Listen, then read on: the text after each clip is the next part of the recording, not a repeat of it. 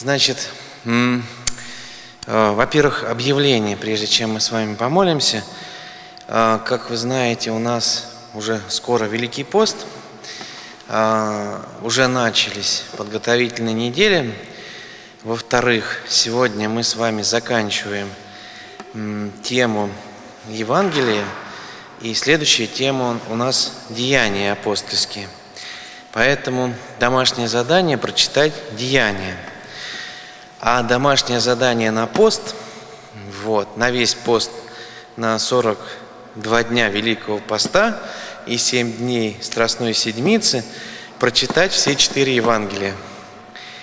А, есть такая замечательная традиция в церкви, а, что Великим Постом... Ой, замечательно. Прочитываются все Евангелия. Вот. И, и, на самом деле это, если немножко дисциплинировать себя, это легко сделать, потому что если по две главки в день, то, в общем, это можно осилить. И, наверное, это будет самое лучшее, что можно сделать постом. Ну, там каждый для себя решает и выбирает там пост как э, пост пищевой. Вот, помните о том, что э, если вы переусердствуете и вам будет плохо, то толку от этого будет мало. Поэтому если есть у, какие, у кого какие противопоказания, э, то если нужно там принимать, скажем, э, э, пищу молочную, то ее нужно принимать. Вот. Лучше уж почитать вот все четыре Евангелия, чем измучить себя, и в конце концов Пасха будет совсем не праздник, а вымученный день. Э, это вот такое хорошее замечание. Э, каждый раз об этом напоминаю. И за всяким благословением там, к священникам ходить не стоит, потому что все-таки пост не о том, что мы бегаем и спрашиваем, можно это съесть, а можно это не съесть. Вот. Здесь выбор делаем сами – все-таки пост – это о том, что я хочу внутри себя сделать шаг навстречу Богу. А как мы знаем из Евангелия, пища нас не приближает и не удаляет от Него. И все мне хорошо. Если это брата моего не искушает, и, то значит я могу что-то вкушать. Но, конечно, будет здорово, если человек там крепкий, здоровый, то, соответственно, настраиваться уже на пост и пищевой. Ну, хотя бы для своего собственного опыта. Это будет очень правильно и верно. К тому же помните, что Великий пост в Древней Церкви – это всегда время подготовки к крещению новых членов Церкви. И вся Церковь молилась за этих людей каждый день в течение 40 э, дней, за людей, которые входили в Церковь и становились членами Церкви. И поэтому там будет огромное э, количество повторений, чтений ветхозаветных, чтений евангельских. Вот то, что мы с вами проходим на катехизации в течение полугода, начиная с октября, Великим постом будет прочитано, ну, по идее, если брать какой-то монастырь, то это прочитывается в течение вот этих 40 дней, напоминая тем, кто будет креститься – во что они крестятся, зачем они крестятся и зачем, в общем-то, Господь пришел на эту землю, и ради чего Он пришел, и ради кого Он пришел. И даже в этом э, как бы случае здорово будет читать Евангелие и прикасаться к этим строкам вновь и вновь. Мы действительно не знаем, что Господь нам скажет через Писание. Я вот вспоминаю отца Георгия Чистякова – замечательного нашего священника, увы, ушедшего к Богу уже порядком времени, по-моему, в 2007 году, вот, если я не ошибаюсь, он говорил о том, что если бы человек каждый день по главке, по две читал, то он даже э, незаметно для себя стал бы меняться через полгода. Он такой был оптимист. Но, в общем, в этом какая-то правда жизни есть что если мы будем вчитываться в строки евангельские, да еще пытаться их воплотить в собственной жизни, ну, хотя бы как сумеем, то это немало, да, то это немало может принести нам пользы. Это вот об этом. Поэтому читаем Деяния, раз, а, а постом читаем Писание, Евангелие, два. Эм, Деяния мы читаем по программе нашей катехизации – Э, их можно будет перечитать еще уже после Великого Поста, когда мы будем приближаться к Троице, к Пятидесятнице. Но у нас будет отдельная лекция, это Пятидесятница и э, церковь, поэтому ну, будет очень правильно там, да, познакомиться, если кто не знакомился, с деяниями святых апостолов, вот особенно первые главы – и какими-нибудь посланиями, скажем, чтобы посмотреть, а вот какая церковь была тогда, сразу после Вознесения Христова. Вот. Чтобы поговорить о современном состоянии дел церкви, у меня к вам просьба к следующему, скорее семинарским занятиям, это будет через лекцию, ну это больше двух недель, но подумайте, чтобы вы, ну, что вам бы хотелось обсудить теме церковь современная, вот, что вас волнует, что вас задевает, как вы к этому относитесь, чтобы это был живой разговор на семинарах. Вот. Ну и, соответственно, у нас сегодня тема «Крест э, спасения воскресения Христова».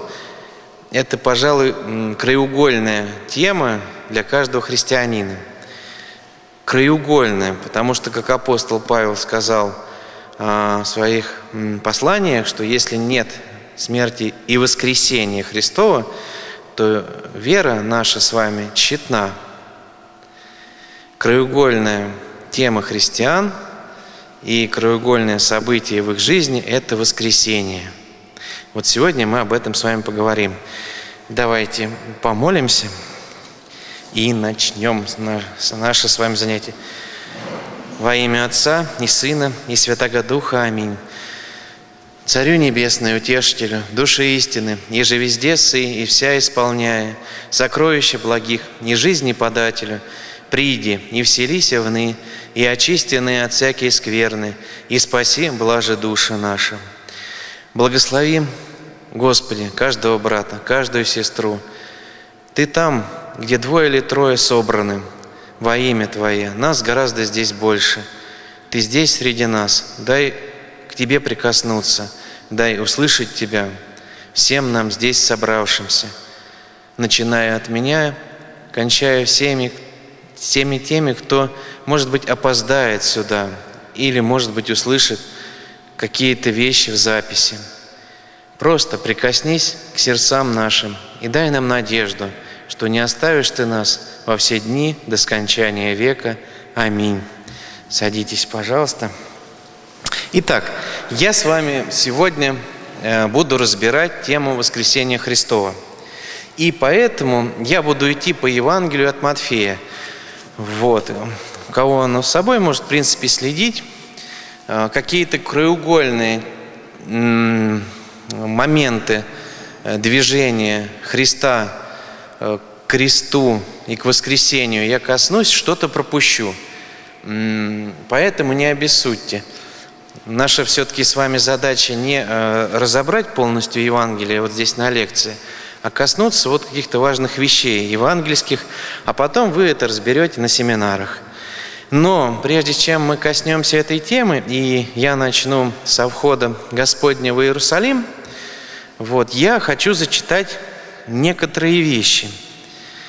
Это э, отрывок, во-первых, из Евангелия от Иоанна, 3 глава, где говорится, «Ибо так возлюбил Бог мир, что отдал Сына Своего Единородного, дабы всяк верующий в Него не погиб, но имел жизнь вечную. Ибо не послал Бог Сына Своего в мир, чтобы судить мир, но чтобы мир спасен был через Него. Потом отрывок из святителя Иоанна Златоуста. Когда ты слышишь слова «ярость» и «гнев» в отношении к Богу, то не разумей под ними ничего человеческого. Это слова снисхождения. Божество чуждо всего подобного. Говорится же так, для того, чтобы приблизить предмет к разумению людей более грубых. И там же, если ты требуешь справедливости, то по закону правды нам следовало бы еще в начале тотчас же погибнуть. Теперь святой Исаак Сирин, не называй Бога правосудным, ибо правосудие Его не познается на твоих делах. Сын Его открыл нам, что паче Он благ и благостен. И последний отрывок из святителя Кирилла Александрийского. Множество людей стало греховными не потому, что они разделяли вину Адама, их ведь тогда еще не было, а потому, что они были причастны к его природе. Зачем я это зачитал? Потому что стоит приступать к теме страданий, смерти и воскресения Христа с таким базовым пониманием того, что, во-первых, Бог желает нашего с вами спасения. Он сюда пришел не для того, чтобы нас судить по грехам нашим, но чтобы нас из этих грехов вытащить. Это первое.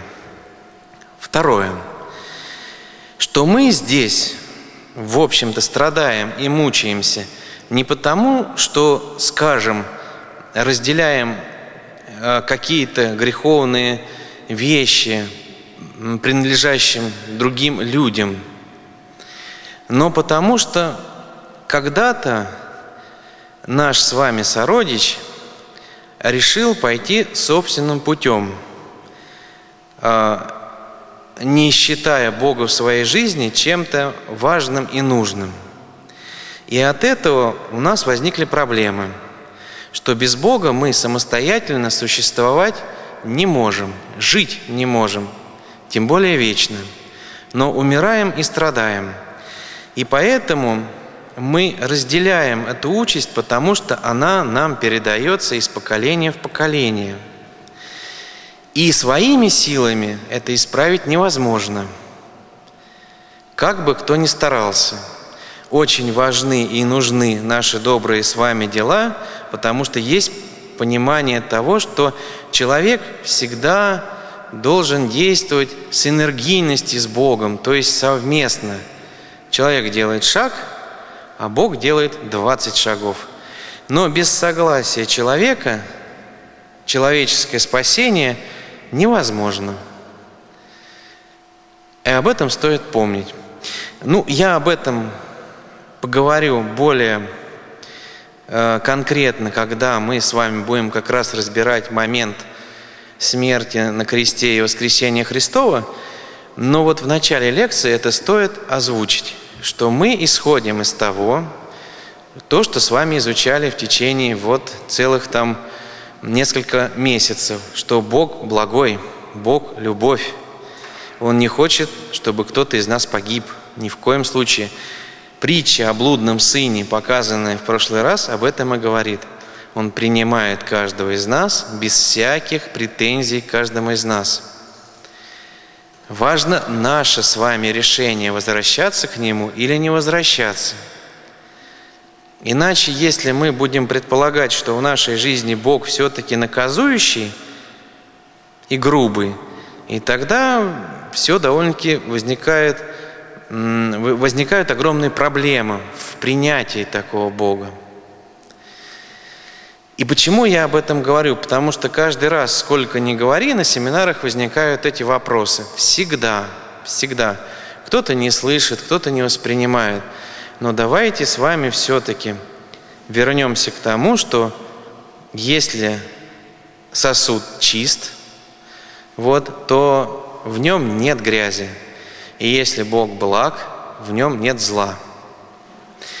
И вот с этим пониманием мы перейдем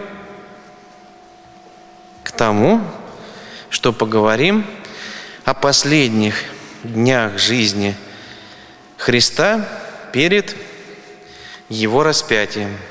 И начнем мы с вами говорить об этом. Э, следующий слайд. Со входа в Иерусалим. Как я вам уже рассказывал лекцию, э, не предыдущую, а позапрошлую, мы остановились на моменте воскрешения Лазаря. Соответственно, все, кто это видел, слышал, они э, стали предполагать, что на землю пришел тот, кто наконец-то восстановит царство Израиля. Ну, доселе не было видано и слыхано, чтобы мертвые воскресали. А тут явный акт воскресения, явное чудо. То есть Иисус воскрешает человека – причем на глазах, на глазах у многих. Это не какое-то вот тайное действие, как он, э, скажем, воскрешал доселе, там, входил с некоторыми своими учениками в комнату, и там происходило вот это чудо. Нет, здесь он делает это на глазах людей. Соответственно, конечно же, в Иерусалиме, куда он идет, все об этом знают – и, как вы помните, Иудея – это оккупированная страна. Да? Все мечтают о том, что наконец-то восстанет э, такой же царь, как был Давид, и освободит э, страну, и приведет э, самих иудеев к какому-то благоденствию. И все об этом, ну, большинство об этом мечтают. Да? Появится вождь, вот как в России часто мечтают о твердой руке. Появится тот, кто все наладит, все у нас пойдет э, лучше, чем было, но история показывает, что лучше не становится. Появляется вождь сильной рукой и становится только хуже. Так и здесь. Христос этого совершенно не хочет.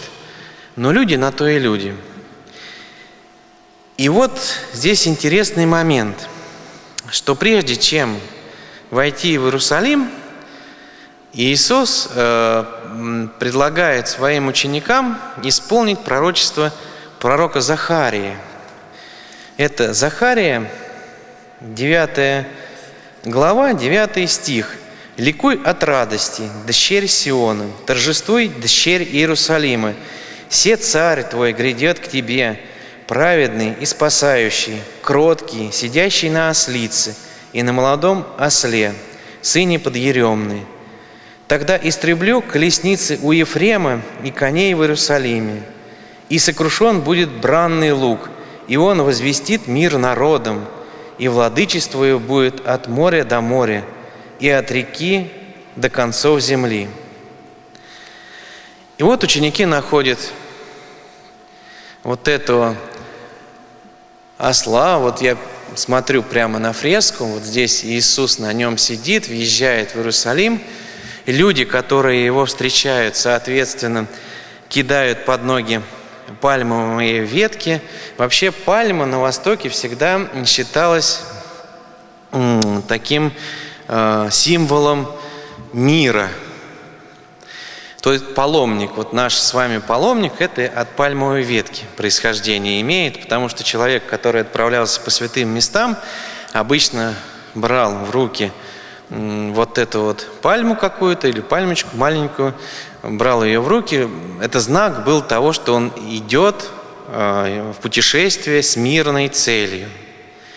И Христос избирает этот путь, не садится, скажем, на скакуна, чтобы показать, что он царь, который въезжает в Иерусалим как победитель, а въезжает вот на этом подъеремным животном, вот, которое используют везде для своих нужд и крестьяне, и народ, который трудится в городах, чтобы показать, что он пришел с миром. Но народ все равно встречает его радостно, да? Он радуется тому, что вот, наконец, пришел тот, кто воплотит в жизнь их надежды. А надежды совершенно разные.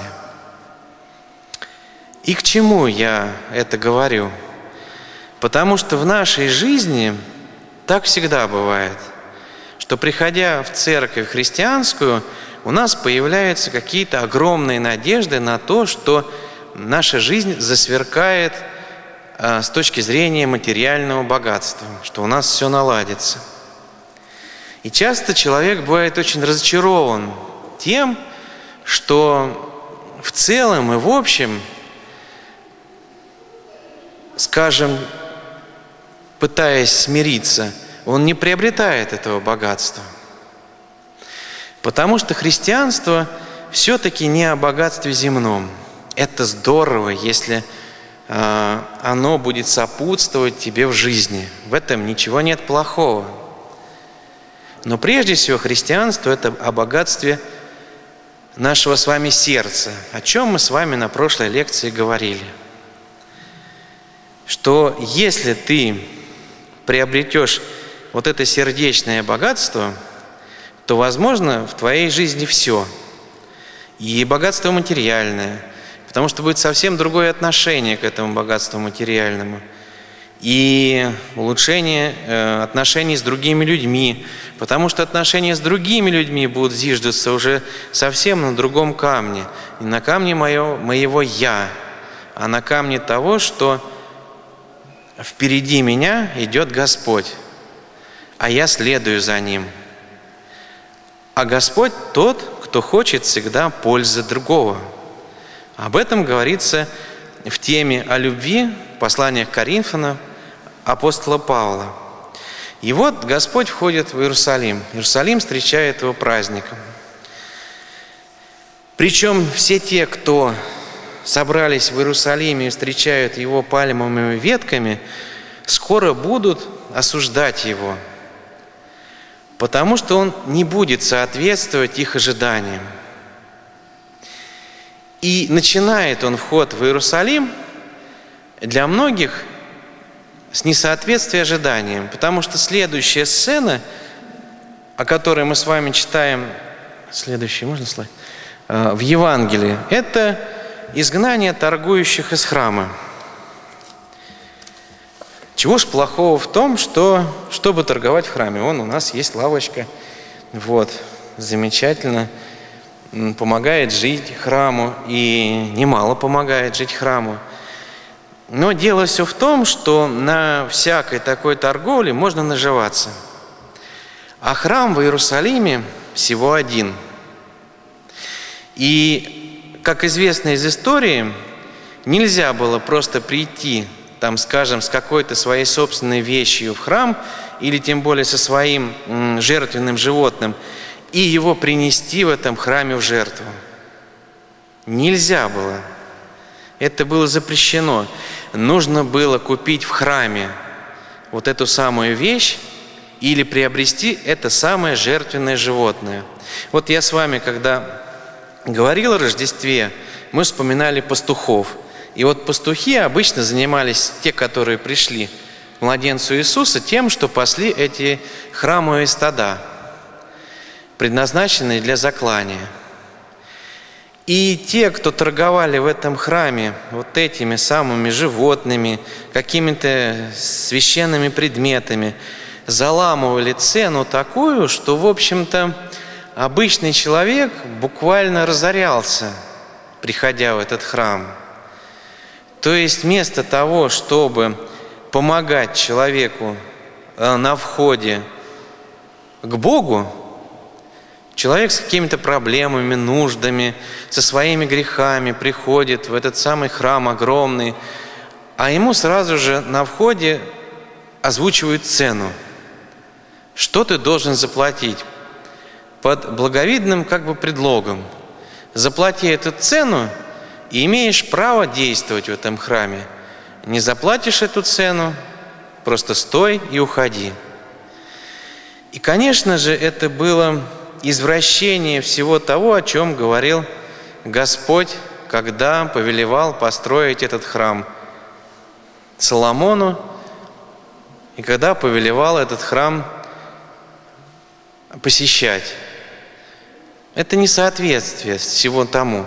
И поэтому Господь, Он изгоняет этих торговцев. Ну, это можно посмотреть во многих фильмах, как э, он это делает. И вот здесь удивительная вещь. Мы с вами видим Бога совершенно в ином качестве. Мы привык, привыкли его э, воспринимать как такого спокойного человека и Бога. Здесь же он дает возможность проявить гнев. Говоря каждому из нас, что гнев как чувство – это нормально. Это нормально, это наше с вами чувство. Чувство, которое откликается на эту несправедливость. Но тем самым, тем самым он уже начинает наживать себе врагов – в лице тех, кто этим занимается. Уже первые, кроме садукеев, фарисеев, книжников, завидующих ему, еще он приобретает врагов среди этих самых торговцев.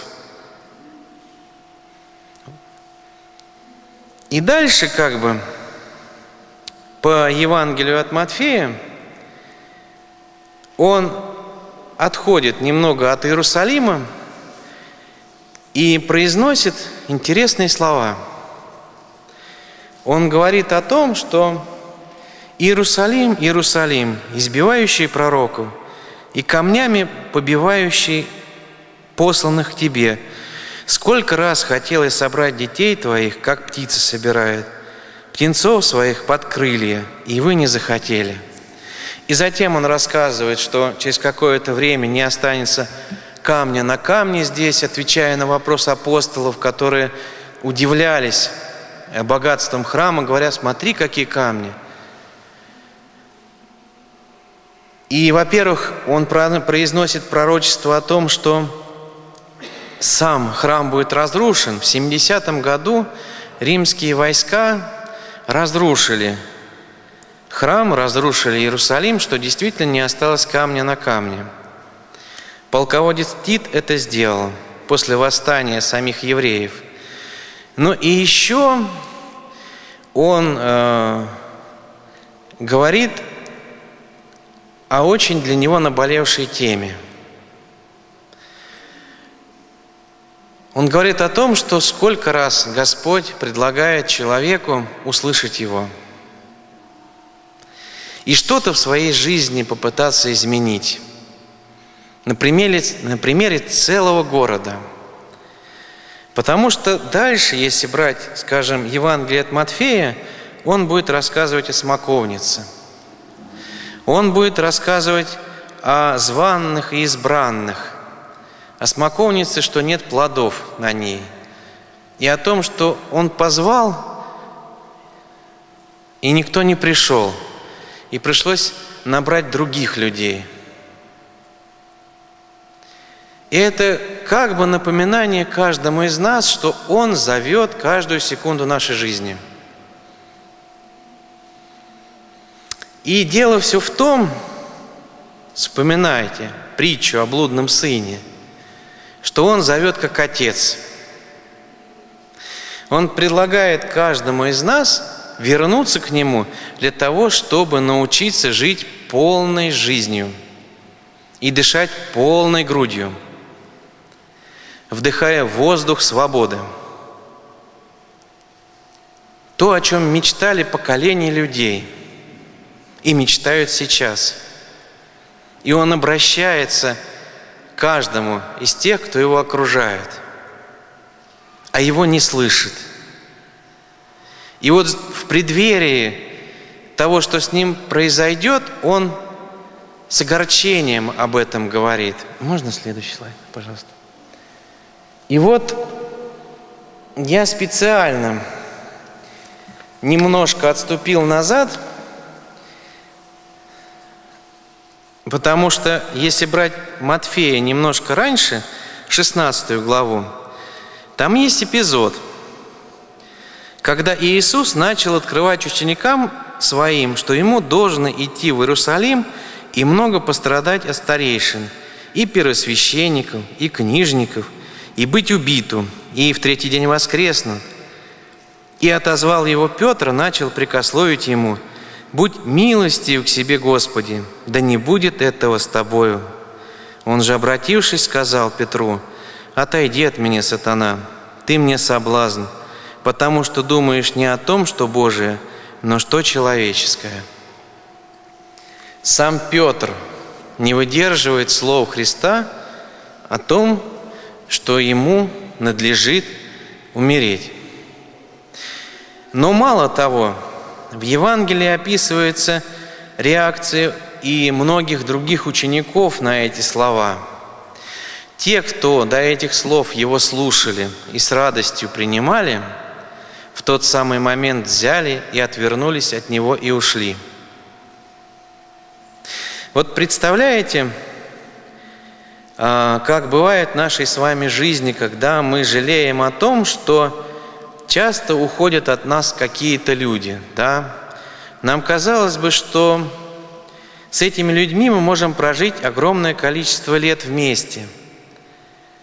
Но Христос на примере своем нам открывает какую-то сокровенную правду о том, что вот Он, самый лучший друг, который может быть на этой земле, самый лучший рассказчик, который может быть на этой земле – самый принимающий и понимающий человек, который может быть на земле. А в своей истории взаимоотношений с людьми, его, во-первых, после того, как он сказал неприятные слова многим, покинули часть его учеников, затем при кресте покинул один из основателей церкви, камень, Петр – в Гемсиманском саду, о котором с вами мы сейчас будем еще говорить, покинули вообще все ученики, кроме женщин.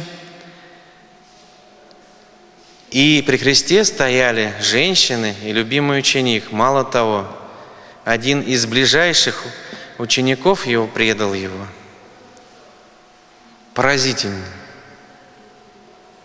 Поразительная картина такая открывается – для каждого из нас. Я недавно об этом думал, когда размышлял о каких-то собственных проблемах. И нет никаких аргументов. Что же говорить обо мне, который не самый лучший рассказчик, не самый лучший друг, не самый лучший товарищ.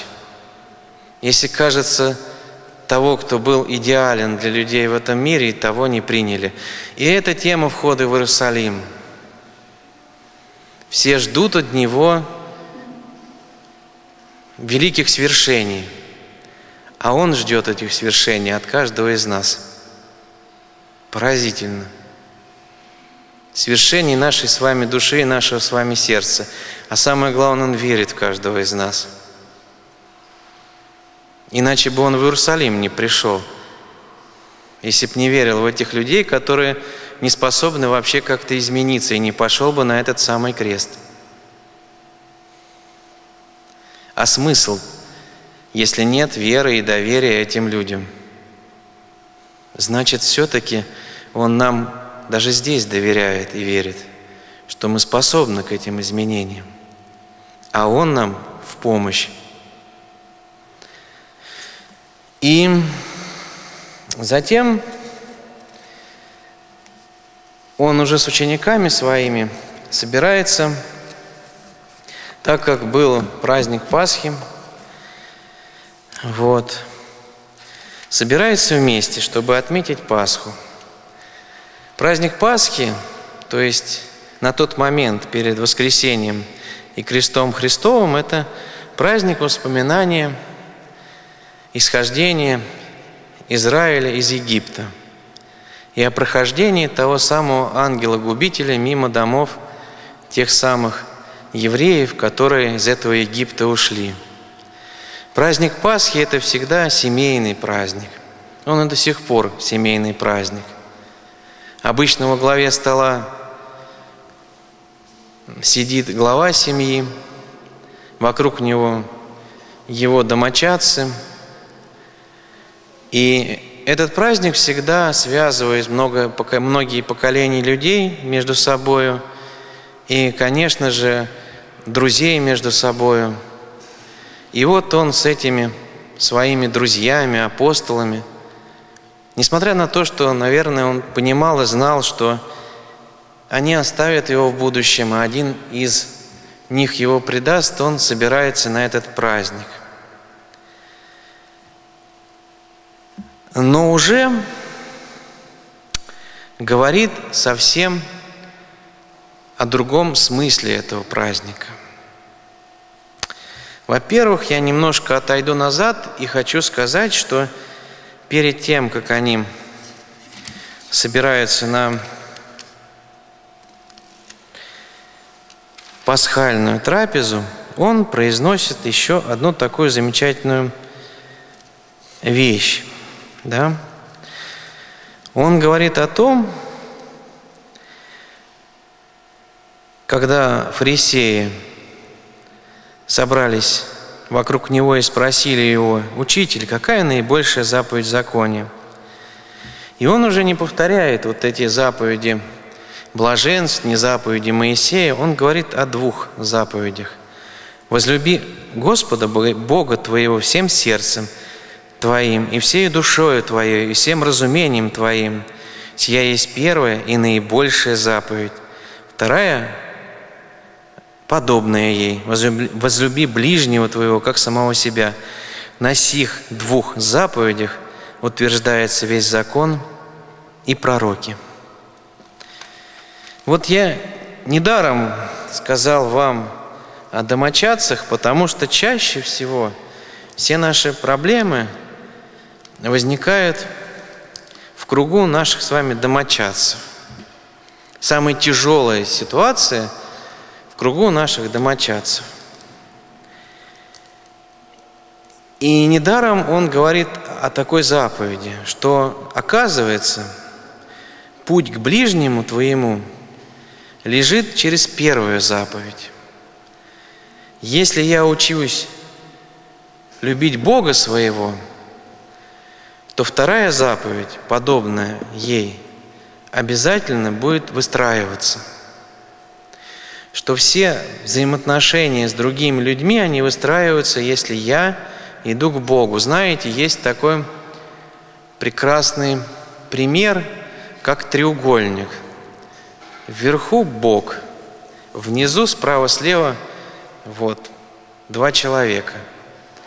И если они поднимаются вверх, то они непременно становятся ближе к друг другу и ближе к Богу. И там, в точке, где Бог, они соединяются. И без этого закона, увы, в этом мире ближе к друг другу невозможно стать. Даже если мы на словах не исповедуем Бога, но душой и сердцем к Нему стремимся, это всегда возможность стать ближе к другому. И поэтому Он их собирает вот здесь, за этой трапезой, потому что ближе, чем за трапезой, люди не могут быть друг другу. Это самое домашнее обстановка, которая может быть испокон веков. Там, где стены падают, там, где открываются помышления многих сердец, там, где происходят откровенные разговоры. И в центре Христос. Но вместе с тем, один из учеников его – А, можно следующий? Один из учеников его, которого мы все с вами знаем, он притча во языцах, Иуда решает зачем-то предать его. Многие мыслители думают о том, зачем он это сделал, находясь со Христом долгие годы – видев его такой, какой он есть, почему Иуда решил совершить такой поступок. В деяниях апостольских о нем сказано, что он вор и лжец был. Но так ли оно было?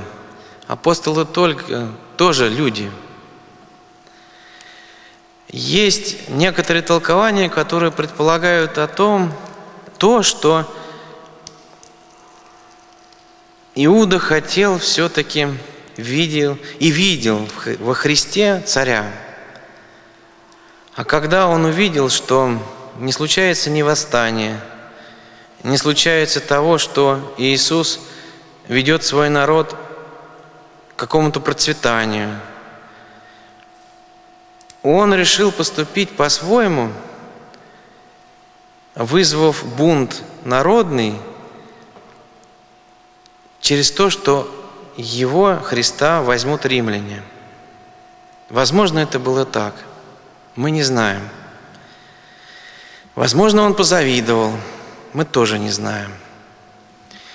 Но у многих вопрос всегда возникает, а был ли поступок Иуды предопределен, предопределен? Было ли или нет? Но если мы будем смотреть на тот момент, когда Иуда собирается это делать, вот, то мы видим, что Христос говорит ученикам, что один из вас предаст меня. Это раз. Во-вторых, он обращается к Иуде, говоря о том, что, что ты задумал, делал быстрее, делай быстрее. В-третьих, он совершает акт любви, когда первый кусок дает Иуде. Он не говорит напрямую, он не ограничивает природу свободы Иуды. Он пытается достучаться до него – И у митрополита Антония Сурожского есть даже предположение о том, что вот это заблуждение Иуды как человека, возможно, было разрушено, когда они встретились со Христом уже после воскресения самого Христа. Потому что в святоотеческой традиции – Христос спускается в ад, чтобы вывести оттуда ветхозаветных праведников. И, соответственно, Он может встретить своего ученика. Мы об этом не знаем. Но вот все же митрополит Антоний Сурожский предполагает, что у него есть шанс, что Бог не ставит точки даже над таким человеком – а человек может ошибиться даже так. Это тоже очень важная вещь. Но давайте вернемся к трапезе. Что мы видим? Что Иисус говорит уже,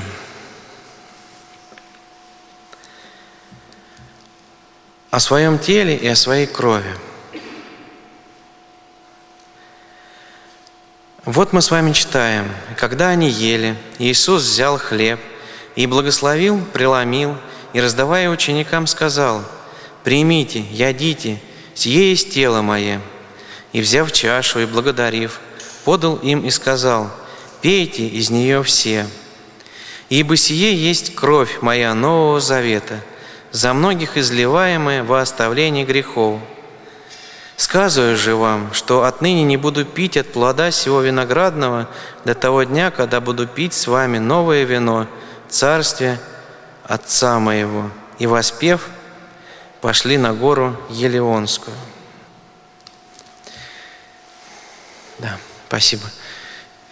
Вот то, что мы с вами каждый раз совершаем, находясь на литургии – при всем при том, это таинство встречи человека и Бога, мы о нем будем говорить более конкретно и более близко, когда будем разбирать таинство Церкви. На нем даже остановимся.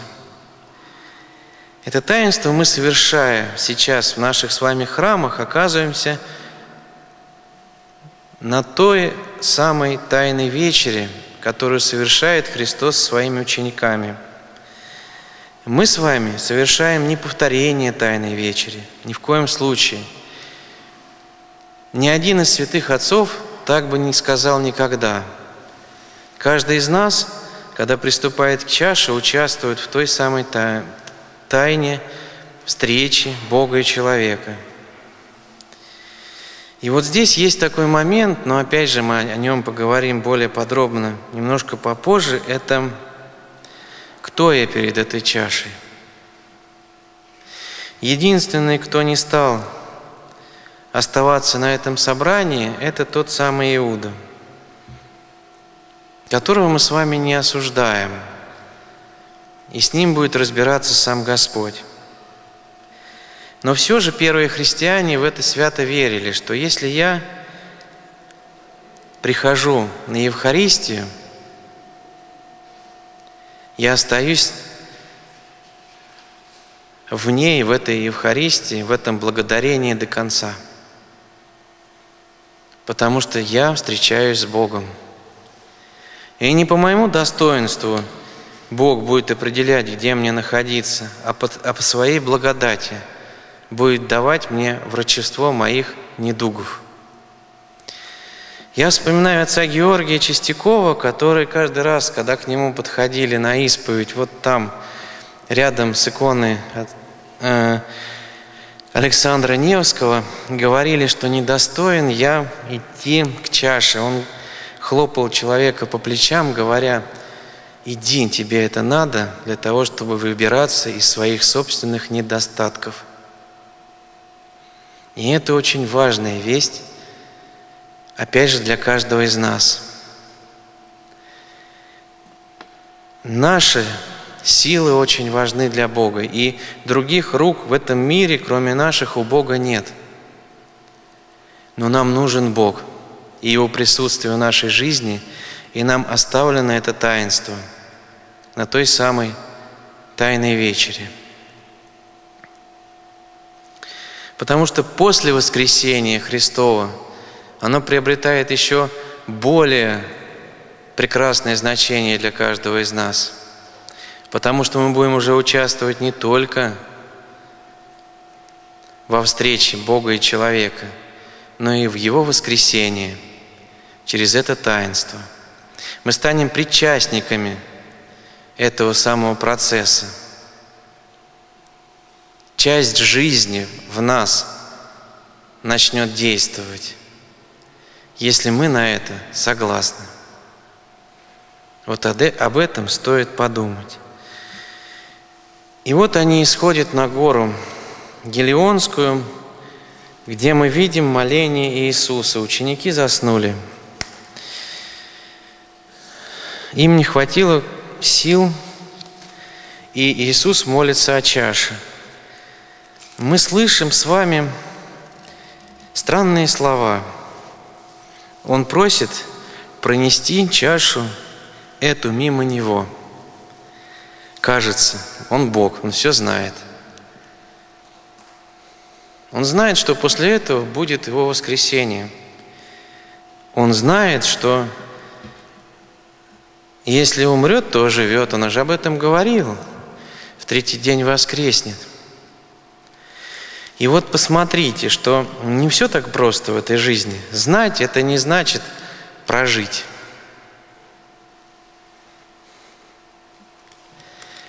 То есть умом можно многое что знать, а проживать это совсем не то. Все его естество человеческое против этого, потому что оно против смерти.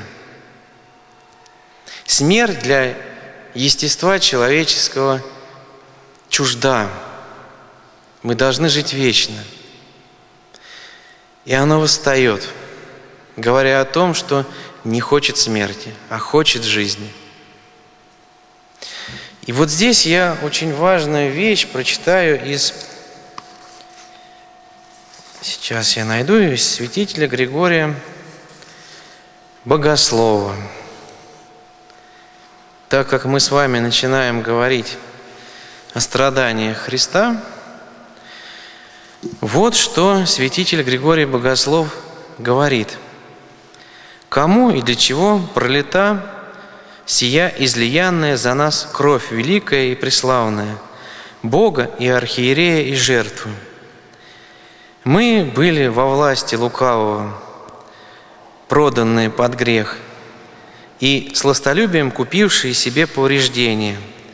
А если цена искупления дается не иному кому, как содержащему во власти, то спрашиваю, кому и по какой причине принесена такая цена. Если лукавому, то как сия оскорбительно, то есть не дьяволу. Разбойник получает цену искупления, получает не только от Бога, но получает самого Бога за свое мучительство, берет такую безмерную плату, что за нее справедливо было пощадить нас. А если Отцу, то, во-первых, каким образом? Не у него мы были в плену, а во-вторых, по какой причине кровь единородного приятна Отцу, который не принял и Исаака? Помните – Бог Отец не принял жертву Исаака, которую хотел заклать Авраам, приносимую его отцом, но заменил жертвоприношение вместо словесной жертвы, дав овна. Из всего видно, что приемлет Отец жертву не потому, что требовал или имел нужду, но по, дом, по домостроительству, и потому, что человеку нужно было осветиться человечеством Бога – чтобы Он сам избавил нас, преодолев мучителя силою, и возвел нас к себе через Сына. Таким образом, на вопрос, кому или чему служила жертва, остается ответ – делу спасения нашего. И дело искупления переходит непосредственно в дело освящения. Это святитель Григорий Богослов. Я вам немножко переведу его, если кто не понял. Он рассказывает о нескольких моментах очень важных, что не может принесена быть жертва дьяволу, что это вообще издевательство. Да? Не может принесена быть жертва отцу, потому что Это безумие. Отец жертвы Исаака не принял. Но жертва для того, чтобы человек и Бог Иисус Христос осветил каждого из нас. И вот в этом сокрыта тайна нашего с вами спасения. И об этом как раз святые отцы говорят вот какие вещи –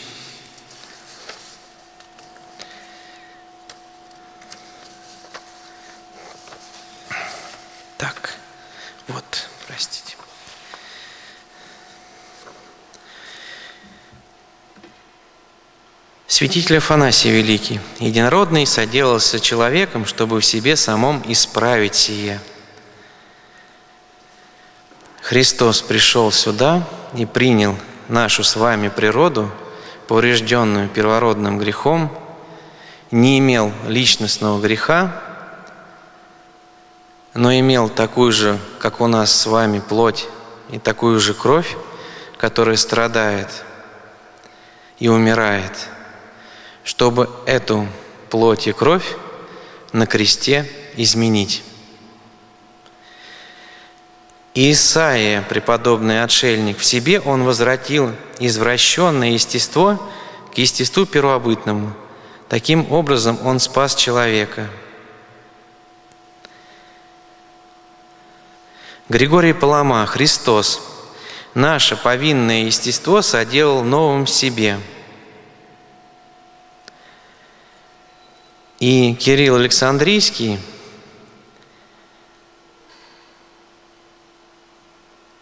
Сыну человеческому было возвращено бессмертие, которого прежде не доставало Христу по человечеству. Его восполнил ему Отец через воскресение. Когда Он воскрес, смерть уже более не господствует над Ним, и всю природу Он удостоил этого совершенства. И вот мы с вами видим это моление. Он пробивается через то естество человеческое к своему Отцу, потому что Он живет в этом теле, как мы с вами живем, в наших с вами телах. На нем нет личностного греха, но ему трудно быть с Отцом, как трудно каждому из нас. Он его не слышит. Такой будет момент интересный на кресте и печальный – когда он будет вызывать к своему отцу, «Боже, Боже, почему ты меня оставил?» Даже здесь он равен всем нам. Если бы он здесь, на земле, родился в ином теле, которое бы не страдало и не умирало, он бы не был равен каждому из нас. Он был бы другим – но он при, принял все то, что принимает в этой жизни человек. И поэтому он молится Отцу, понимая, что страдание – это путь, конечно. Но боль – это боль, через которую ему придется пройти.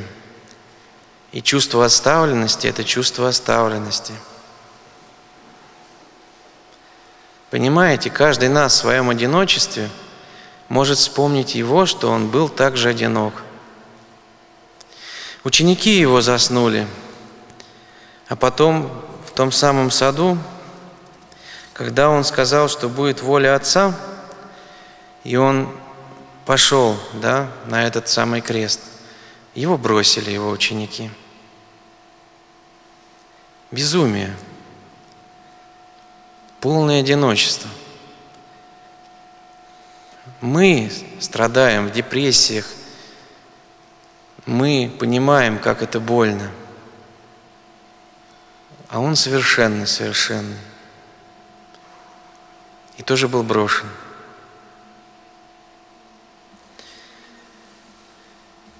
И можно было задать вопрос, можно было как-то иначе – Но видно, законы Божии в этом мире иначе не делаются. Тот же самый святитель Григорий Палама, который является основателем исихазма, писал о том, что Бог устроил этот видимый мир как некое отображение надмирного мира, чтобы нам через духовное созерцание его – как бы по некой чудесной лестнице достигнуть оного мира. То есть мы здесь видим многие процессы, которые соответствуют тем процессам, идущим и в мире преображенном. И Бог эти законы перешагнуть не может. Он не может изменить понятие свободы, не может изменить понятие воли – Потому что без этой свободы и воли человек не будет счастлив. Как-то отец Александр Борисов рассказывал о случае, рассказанный ему одним узником, который убил людей и сидящим пожизненно. И этот узник задавался вопросом, чему ты меня, мне позволил убить этих людей – и ему пришел ответ, потому что без этой свободы ты не можешь быть счастливым. Вот представляете, какая важная штука, даже наша с вами свобода, что Бог не может ее тронуть. И поэтому Ему приходится самому приходить в те самые законы, чтобы спасти человека через эти безумные страдания, отдавать себя полностью истязателям и умирать, переживая те же самые чувства, что каждый из нас будет переживать в своих собственных страданиях. Но идет он на это совершенно добровольно – потому что не хочет, чтобы кто-то из нас умер. А самое главное, он не хочет, чтобы не только умер праведник, но и чтобы не умер блудник, прелюбодей, вор, разбойник. Представляете? Так хочется отгородиться и от тех товарищей. А Бог не хочет этого. Он и ради них умирает.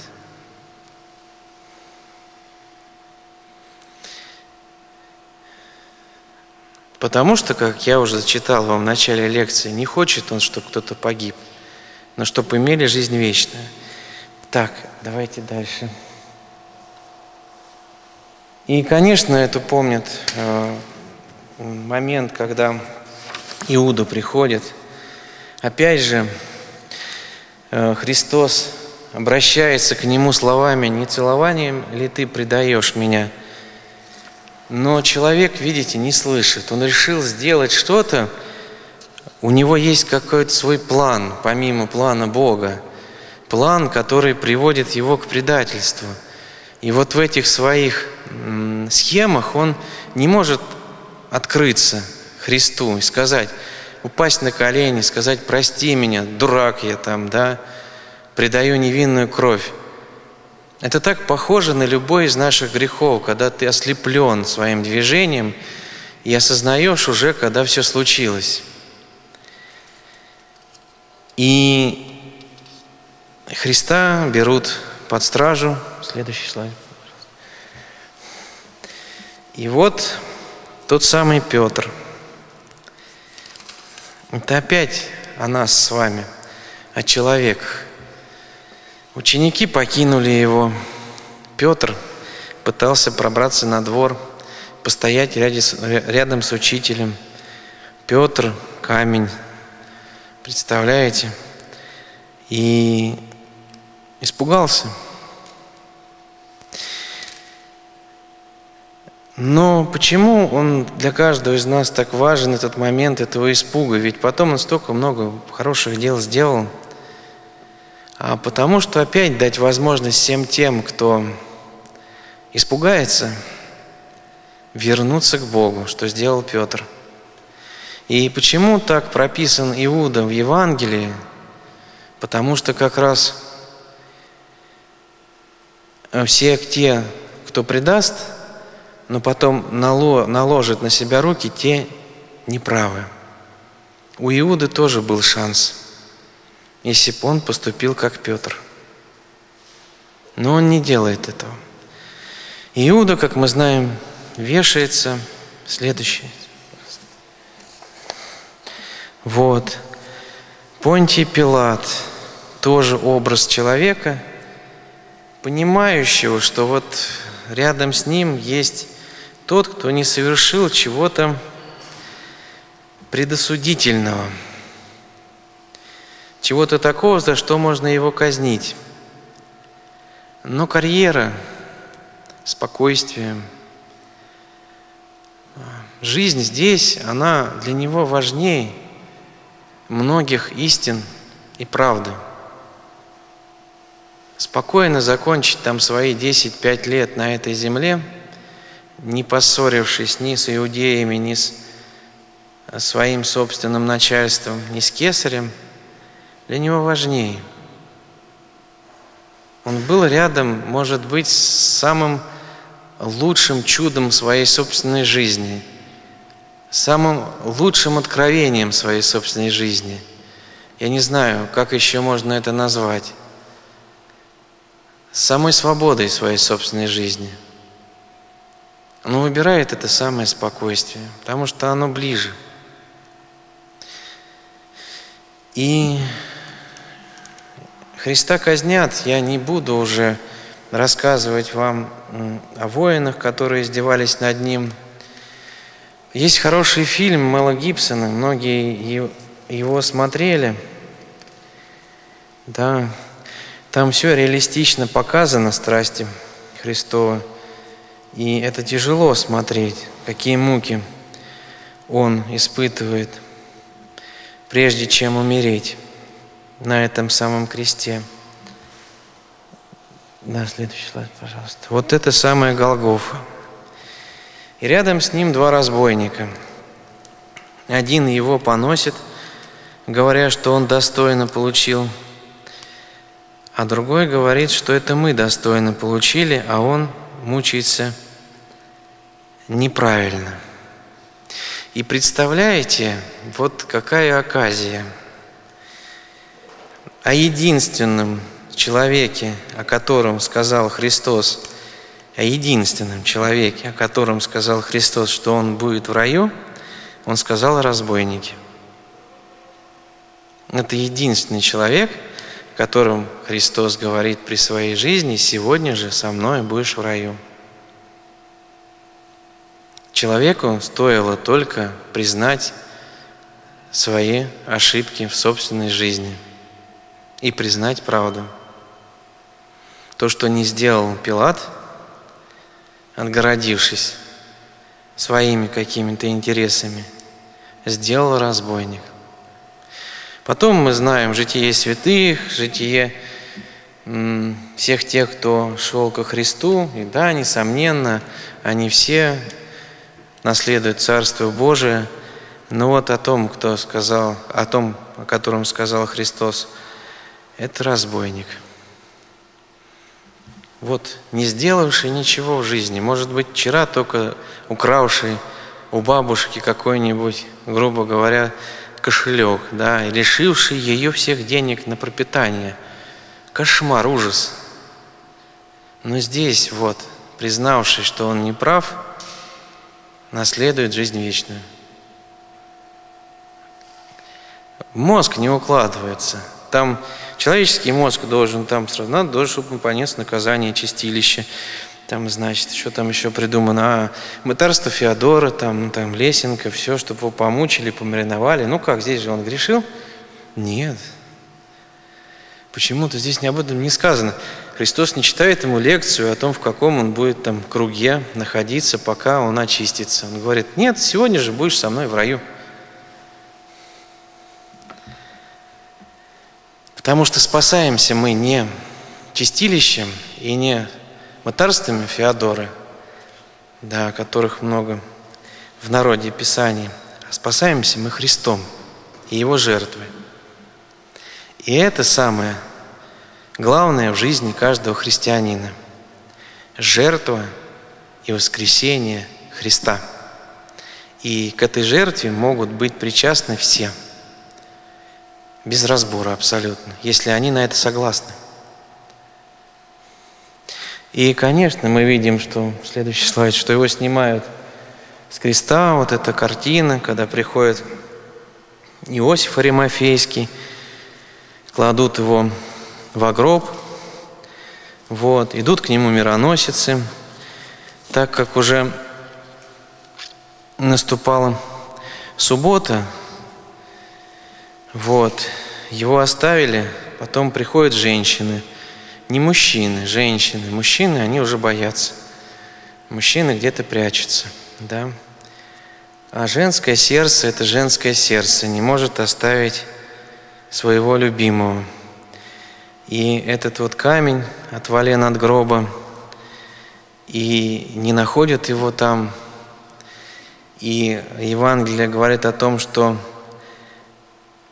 он является вначале одной из женщин, потом Петр бежит, видит пелены оставшиеся там в гробнице. А дело все в том, что с пеленами вообще огромная проблема. Там человека э, так э, обматывали тканями и поливали всякими благовониями, что ты оказывался как бы в коконе. В общем, и освободиться от него просто так невозможно.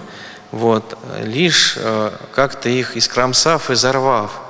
А когда мы читаем Евангелие, мы видим, что там сказано, что пелены аккуратно сложены – вот это такой признак того, что что-то такое надмирное произошло, что человек освободился, ну, не знаю, как вот Гудини, да, от своих оков, используя там, да, что-то, может быть, сверхъестественное, и каким-то образом. Сейчас даже есть вот эта вот самая известная в Италии Туринская плащаница, как бы отображение э, Христа положенного, вот эти самые пелены. Вот, над ней делают всякие радиоуглеродные анализы, пытаются доказать, та ли это пелена или не та, в которой был э, завид Христос. Но это не суть, понимаете? Как раз костер, хлеб. И там будет разговор с Петром. Это последние моменты сегодняшней лекции. И мне этот близок очень момент, описанный в Евангелии от Иоанна, когда ученики вновь плывут ловить рыбу, видят, что кто-то идет по берегу, он, этот кто-то, они не поймали, как всегда, говорит, закиньте еще, Петр узнает своего учителя, говорит, это учитель, кидается в воды, плывет, потом ученики приплывают, и на берегу их ждет костер. Костер, рыба, хлеб – они боятся там сказать учитель, да, вот это прекрасно. Для них момент такой трепетной встречи, они просто вместе с ним садятся, никого не осуждает ни за что. Не начинает рассказывать, братцы мои, я, конечно же, воскрес, но вы меня бросили, кинули, что мы будем делать, как мы будем исправляться? Нет. Они трапезничают. Мало того, вот. Он обращается к Петру. «Любишь ли ты меня?» Три раза. Три раза Петр отрекся, три раза Христос повторяет. «Любишь ли ты меня?» Каждый раз Петр утверждает, что «да, я люблю тебя». Он трижды сказал «нет», Ему важно самому Петру сказать трижды «да». Христос даже это видит, что важно Петру, как он страдает, и как можно это страдание изменить, как можно опять Петра вернуть его достоинство. И дает эту возможность ему, никого не осуждая, и может быть вот это не осуждение всех тех, кто его оставил, и дало такую огромную мотивацию, чтобы они шли и говорили, в нас увидели людей, и несмотря на все наши недостатки. Потому что нам это важно, чтобы выбираться из этих недостатков и расти – а помощь нас воскресший Бог, который дает каждому из нас возможность это сделать. И поэтому они шли и рассказывали другим, что такая возможность есть. И когда человек находится в беде, когда у него умирают там дети, когда он не знает, чей будет раб на следующий день, когда постоянно одни приходят, воруют, другие убивают, третьи, для для таких людей это глоток воздуха или те, кто измучен на своих собственных грехах, вдруг кто-то придет и скажет, брат, ты знаешь, ты полный отстой, а шанс у тебя есть. Это же огромная такая мотивация, чтобы сказать, да, он спросит, какой шанс? Да есть шанс, дается тебе этот шанс. И поэтому возникали эти самые маленькие общинки – И затем мы видим, что Христос вознесся. Почему? Можно опять задать вопрос. Ну почему? Зачем? Остался бы вместе с нами здесь, на этой земле, всю оставшуюся жизнь, как приятно и хорошо быть, жить и братьям вместе. Но Он хочет, чтобы мы росли. Он может творить чудеса, Он может восстанавливать людей, Он может воскрешать людей, все может. А мы-то что? Он хочет, чтобы мы росли чтобы мы что-то научились делать. Каждый из нас на что-то был способен. Жизнь – это маленький период времени здесь, на этой земле. И встреча будет, во что верили первые христиане искренне и к этому стремились. Но чему-то можно научиться. И здесь очень важны вот наши усилия. Ведь это огромная проблема, когда там человек живет с мамой, с папой до конца своих собственных дней и ничему не, так и не научится. Но стоит мама и папа оставить этого человека, и, и приходится учиться, потому что выживать приходится. А иначе нельзя. Мы об этом тоже говорили, что законы, они для Бога законы, Он не может их перезапустить, сделать новыми. Он сам по этим законам живет – потому что Он сам эти законы и придумал, законы жизни. И либо мы идем по этим законам, либо не идем. Но вместе с тем можно задаться вопросом, а что же для тех, кто не идет по этим законам и не живет, и погибает, и спивается, и под забором помирает. Ведь счастливчиков не так много. Это уже история Иуды. О чем говорит митрополит Антоний Сурожский. Встреча будет так и так, и выбор будет и так и так. Здесь, может, нет, но там, может, да, и поэтому мы с вами молимся за людей, и за умерших тоже. Что даже здесь не оставляет Бог человека, что шанс есть всегда.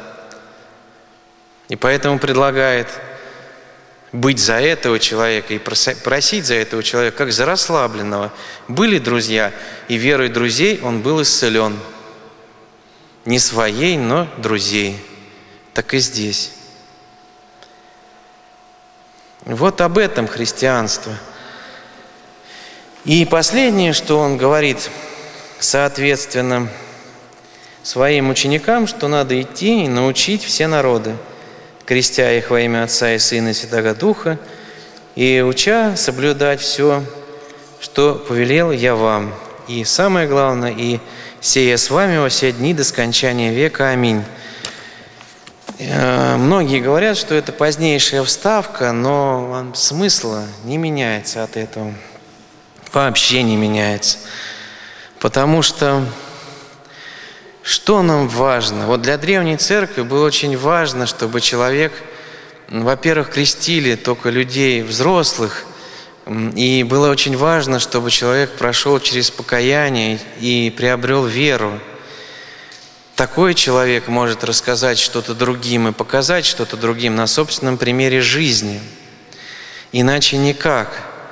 Понимаете, э, то, что у нас сейчас есть в нашем государстве, в нашей какой-то реальной действительности, когда крестят всех подряд и всюду, может быть совсем неправильно.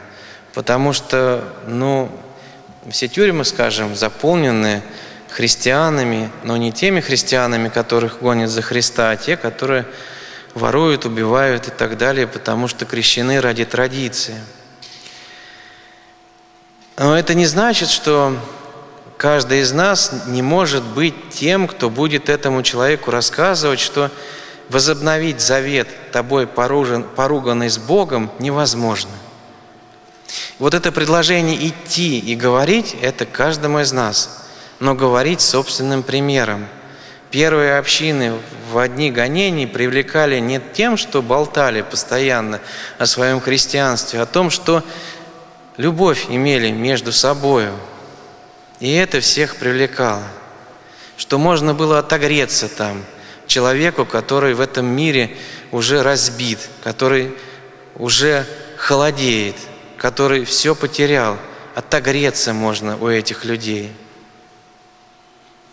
И вот к этому каждому из нас надо стремиться.